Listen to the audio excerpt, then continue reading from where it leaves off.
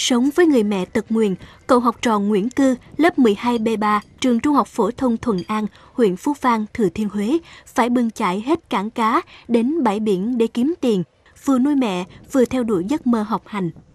Sinh ra không có cha nên cuộc sống của Cư thiếu thốn trăm bề. Anh em bên ngoại đông nhưng cũng nghèo nên không giúp được gì.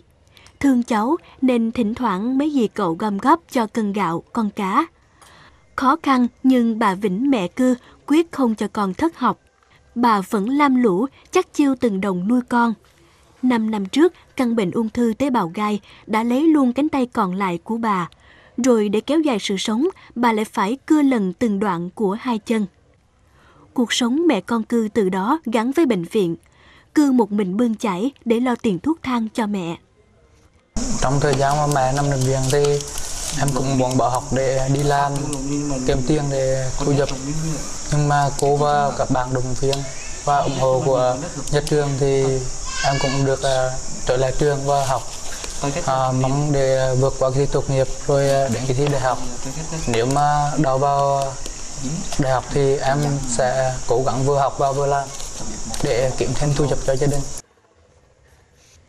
đây là mùa hè hiếm hoi trong suốt 12 năm đèn sách, Cư được ở nhà.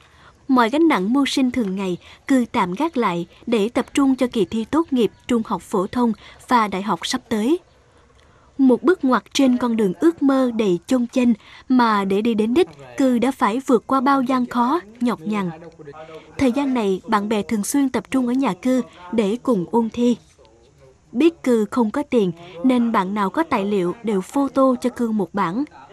Cả nhóm ngoài thảo luận bài vở còn thay nhau giảng bài, bổ trợ thêm cho Cư những kiến thức bị hỏng trong thời gian ở bệnh viện. Thầy cô phụ trách môn toán, lý hóa ở trường thương cư nên cho em học thêm miễn phí để Cư đi thi. bằng cứ kiếm tiền mẹ bằng cứ gia có hoàn cảnh khó khăn mà bằng tâm học siêng học về ở lớp bằng hãy giúp đỡ bạn bè trong việc ờ, học tập được uh, mấy bạn mến nhà xa nhưng cư đi học chăm chỉ không sót buổi học nào. Cư nói mọi người ai cũng hy vọng rất nhiều ở cư trong kỳ thi sắp tới. Vì vậy cư gắng học đêm học ngày để thi đỗ vào ngành vật lý trường đại học khoa học huế với ước mơ trở thành nhà nghiên cứu vật lý. Cư nói nếu đậu em sẽ vừa đi học vừa xin việc làm thêm để chữa bệnh cho mẹ. Đó là hai việc mà em phải làm trong thời gian sắp tới.